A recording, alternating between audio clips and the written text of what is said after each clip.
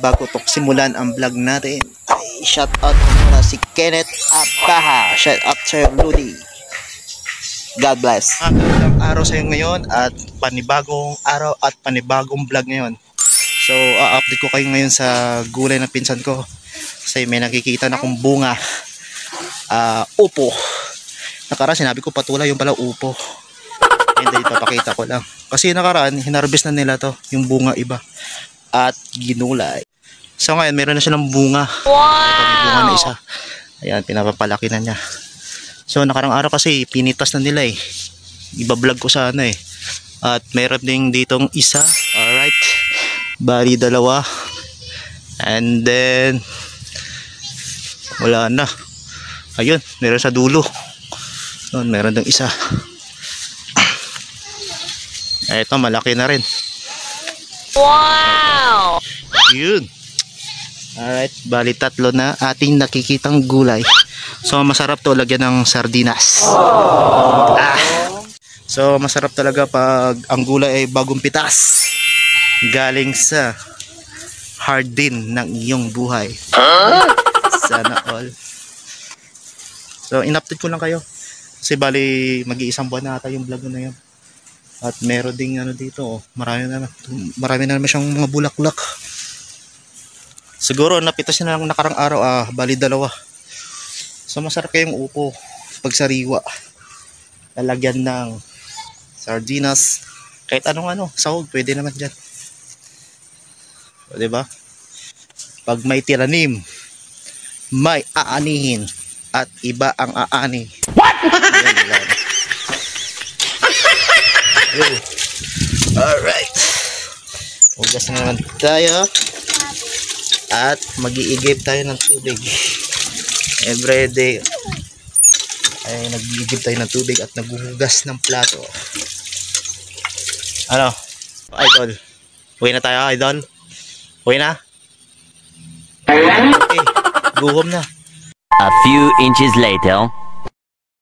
So guys, good afternoon at may nakita ko dito ang kalabasa, malalaki na yung bunga.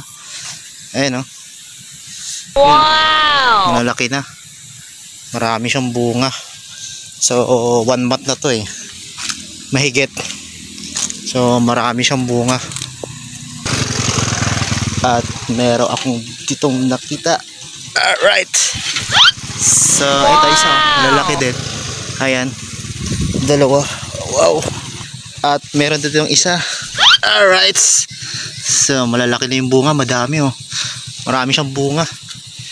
So, di ko alam kailan to arbisin. No? Ang ganda. Sariwa. So, grabe no. Daming bunga. So, ikot-ikot lang tayo dito. Alright. So, ngayong oras natin ay hapon na. So nakarang araw tinanggal na nila yung mga ano dyan, mga okra sa katalong.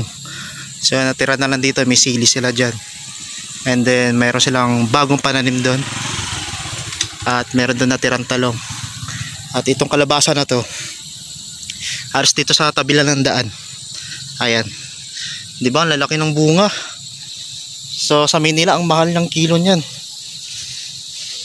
So pinapakita ko lang baka susunod pag nag-harvest sila makuha na ko na ng video so ang laki nun no isa sa ito sarap nyan lalo sa ginataan.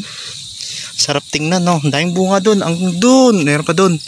Saka dito dun. Alright. So ikot ikot muna tayo dito. Yan daming bunga. Baka pwede naman makahingi dyan. Oh. so guys ito. Ito pinakamalapit to ayan. Wow! Yun. Dito lang yan. Kasi nung pumunta ko dito one month wala pa yan maliit pa lang yan. Wala pang bunga wala pang bulak. So ngayon malalaki na yung dahon niya. So so ngayon may bago na naman silang pananim doon. At susunod na araw ha- harvest na nila yung mga kalabasa dito. So update ko lang dito sa kalabasa na to. And sa sunod na araw kukuha na natin yung shot yan pag mag-harvest na yung niyan Hanggang dito na lang yung vlog natin. And see you the next vlog. Ingat kayo lagi. And God bless. I love you to all.